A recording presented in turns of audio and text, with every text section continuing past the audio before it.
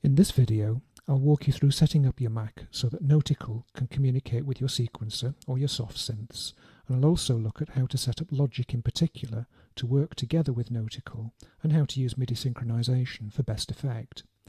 I'll also try and offer a couple of hints and tips along the way that might help smooth your workflow and make things easier for you. In all of these videos, I'll be using OS X Tiger and Logic 8, but the principles are exactly the same for earlier versions of Logic and for Leopard, although the interfaces might be slightly different. To communicate with another MIDI device, real or software, noatikl and that device need to share a MIDI port. Now for hardware devices connected to your Mac, this is already sorted out by Core Audio. If you have a MIDI port connected to your Mac and Core Audio knows about it, noatikl can see it and address it. For software like Logic or for soft synths like Absynth or Kontakt, you need first to install a virtual MIDI port that noatikl and the synth or Logic can use to talk to each other. For most users, in most circumstances, this is already installed as part of Core Audio. It's called the IAC driver, but by default this is disabled. To enable it, go to the Utilities folder which is nested inside your Applications folder and launch the Audio MIDI Setup application. Click on the MIDI tab, which is where all the MIDI ports connected to your Mac are listed, and as you can see this Mac has quite a few extra ports connected. But the bit we are interested in is over here. Double click on the IAC icon, select Enable this device and close, and that's it, the default settings work fine. When you open noatikl, you'll see that the IAC driver is listed at the bottom of the available MIDI ports list.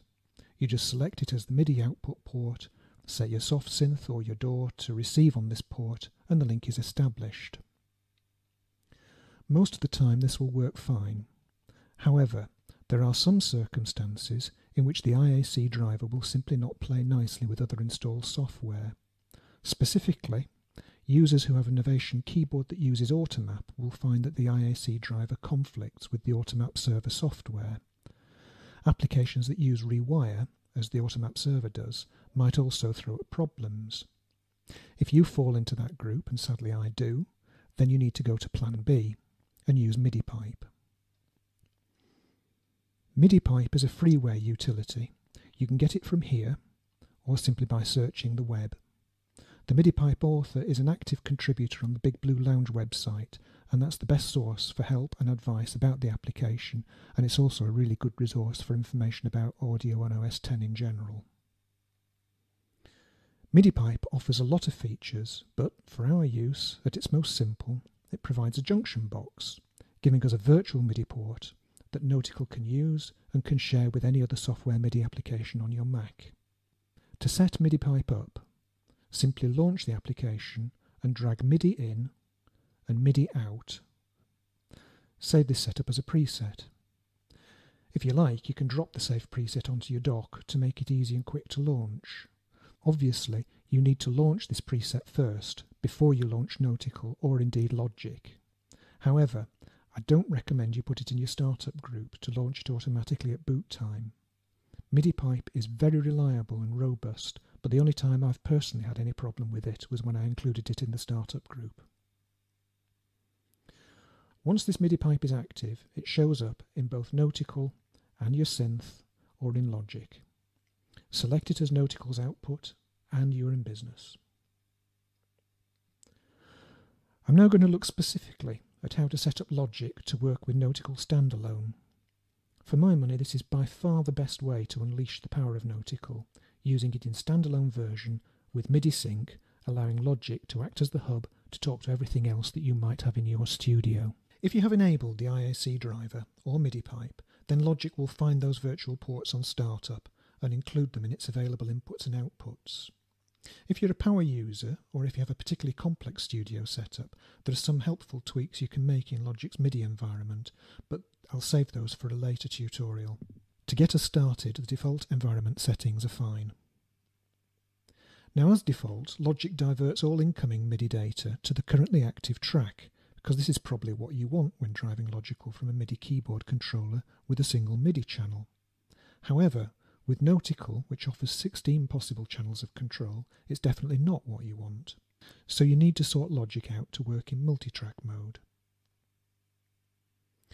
To do this, I'll open a blank song in Logic. As you can see, Logic 8 offers to create instruments for you at the outset, and we can use this feature to set up 16 software instrument tracks. Sadly, these will all be set to receive on all MIDI channels, which again is not what we want. So we've got to use the inspector panel to set each of these to a separate MIDI channel. Once you've done that, if you go to the project settings menu, which used to be called the song settings in earlier versions of Logic, and select the recording tab, check this box, auto demix by channel if multitrack recording. This will ensure that incoming MIDI data is sorted and sent to channel strips according to their assigned MIDI channel. Finally, back in the Arrange window, you need to arm recording for all the tracks that you will be using. If you don't do this, the incoming MIDI data will not be demixed and the results aren't very good. For all of this to work in a predictable way when you are back in noatikl, you need to make sure that you declare which MIDI channel each voice line in noatikl will use. That takes care of the basic input side of Logic. The next step is to sort out MIDI synchronization. noatikl standalone works best with Logic and any other sequencer I could think of when it's slave to a clock signal. Once you've set this up, the transport controls in Logic will work noatikl automatically and both applications will run at exactly the same tempo. To make all this magic happen, you need to set Logic to generate a clock signal, send it to the right port, and have noatikl listen to that port for the clock. Again, we go back to the project or song settings select the synchronization option and click on the MIDI tab. If you've got a simple setup, just use the drop down menu here to send the clock to the virtual MIDI port being used by noatikl. If you have a more complex setup, say with hardware synths that you might want to clock at the same time, it's actually more efficient to have Logic send MIDI clock to all ports rather than specify individual ports. So the rule of thumb is if it's just for noatikl, specify that port. If you want to include other synths in your rack, send the clock to all ports. Once you've done all that, save this song as a template so you don't have to go through this every time you want to make some music. In earlier versions of Logic, just save it as a blank song and load it up. Back in noatikl, just ensure that you select the correct port as the MIDI input here so that noatikl can receive the clock. Tick the sync box, and of course don't forget to press play to put noatikl into listen mode.